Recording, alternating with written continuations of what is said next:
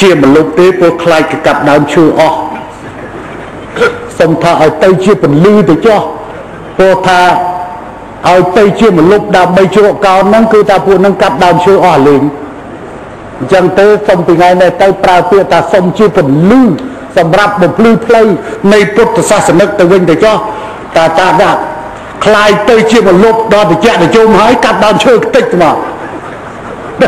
គណៈសុំសុំប្រើពាក្យប៉ុណ្ណឹងទៅចុះសុំសុំសម្ដេចយោគយល់ចំពោះកូនសិស្សម្នាក់នេះគឺថាមកឲ្យវាចេះចេះតែនឹកឃើញហើយមនុស្សព្រមប្រើប្រើពលឺយកមកប្រើមនុស្សគេកាប់ដើមឈើអស់លេងព្រោះព្រះអង្គទៅជាមនុស្សរបស់គេដែរអញ្ចឹងក៏ឥឡូវទៅជាពលឺវិញនាំផ្លូវដាក់ដូច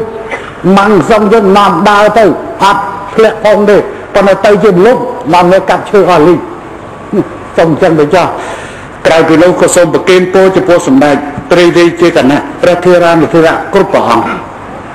ជូនពរចំពោះអេដាមលោកជំទាវអ្នកអញ្ញាលោកស្រីអស់លោកជនលោកជាតិទាំងអស់សូមប្រកបដោយពុទ្ធពរទាំង5ប្រការអាយុវណ្ណៈសុខៈពលៈបដិគេអ្នកកំបីគ្រាគេឡើយសូមអរគុណសូមអរគុណ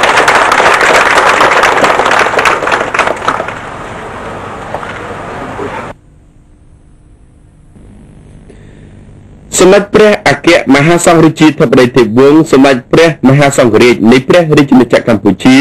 មានព្រះបន្ទូលទៅកាន់អង្គពិធីក្នុងខ្លឹមសារដូចតទៅខ្ញុំដល់ណាយកដល់ថ្ងៃពេលមករាគឺស្ដេចមកតាម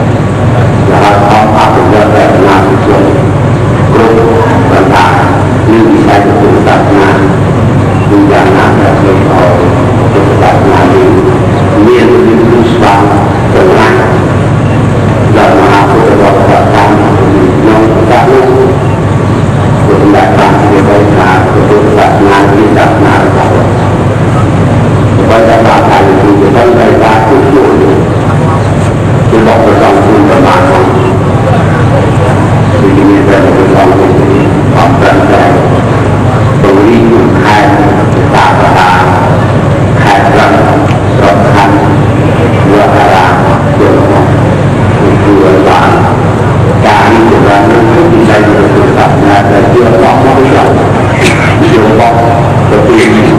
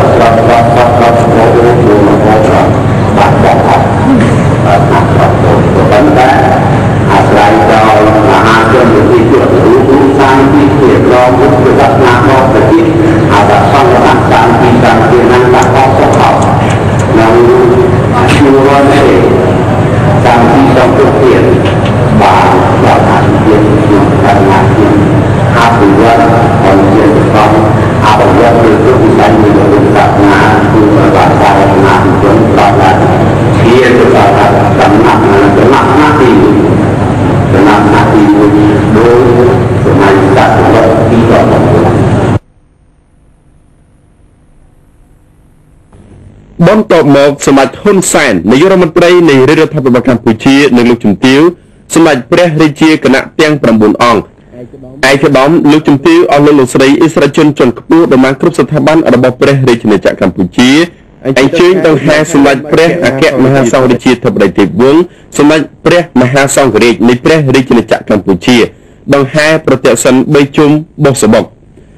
គូបញ្ជាក់ថាក្រោយពីការដួលរលំនៃរបបផ្លាច់ពូសាសន៍ប៉ុលពតនៅថ្ងៃទី7មករាឆ្នាំ1979ព្រះពុទ្ធសាសនានៅក្នុងព្រះរាជាណាចក្រកម្ពុជាត្រូវបានរុះឡើងវិញដូចជាវិស័យដទៃដទៃក្រោមការដឹកនាំរបស់សម្ដេចព្រះអគ្គមហាសង្ឃរាជាធិបតីទេពវង្សសម្ដេចព្រះមហាសង្ឃរាជនៃព្រះរាជាណាចក្រកម្ពុជាក្រោមប្រជាកិច្ចដឹកនាំដ៏ឈ្លាសវៃរបស់ព្រះអង្គក្នុងរយៈពេល27ឆ្នាំកន្លងទៅនេះចាប់តាំងតែពីពេលដែលព្រះសង្ឃ មានតែ7អង្គរហូតមកដល់បច្ចុប្បន្ននេះនៅទូទាំងព្រះរាជាណាចក្រកម្ពុជា មានវត្តអារាមចំនួន4106វត្តក្នុងនោះវត្តគណៈមហានិកាយមាន3980វត្តវត្តគណៈធម្មយុត្តិកនិកាយមាន126វត្តមានប្រសងចំនួន88828អង្គក្នុងនោះប្រសងគណៈមហានិកាយមានចំនួន57509អង្គ បល័យវិស័យពុទ្ធកសិក្សាត្រូវបានស្ដារនិងមានការរីកចម្រើនយ៉ាងល្អប្រសើរ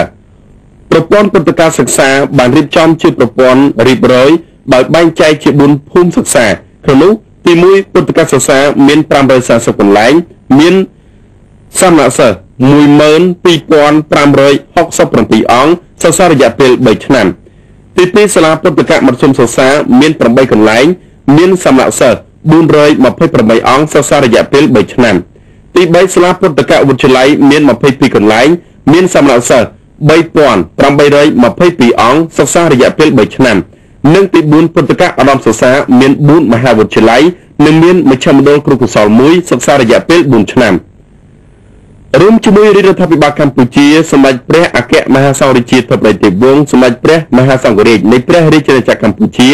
បានចូលរួមក្នុងព្រះរាជកម្មភាពនិស្សិតធម៌លើគ្រោះវិស័យ ពិសេសជួយដល់ប្រជាពលរដ្ឋទីតលក្រជួបគ្រោះភ័យបន្ថែមពីនេះទៅទៀតព្រះពុទ្ធសាសនាក្រោមការដឹកនាំរបស់ព្រះអង្គមិនត្រឹមតែមានការរីកចម្រើននៅកម្ពុជានិងទទួលបាននូវការគោរពបូជាពីសំណាក់ប្រជាពលរដ្ឋខ្មែរប៉ុណ្ណោះទេតែត្រូវបានផ្សព្វផ្សាយនិងទទួលបាននូវការគោរពពីសំណាក់បណ្ដាប្រទេសកាន់សាសនាព្រះពុទ្ធដូចគ្នាលើសកលលោក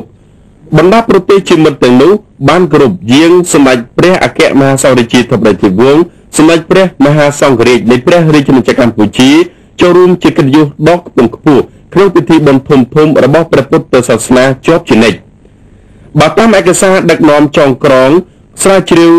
កំណត់ទុកដោយឯកឧត្តមមិនខិនរលេខាធិការក្រសួងធម្មការនិងកិច្ចការសាសនាបានឲ្យដឹងថា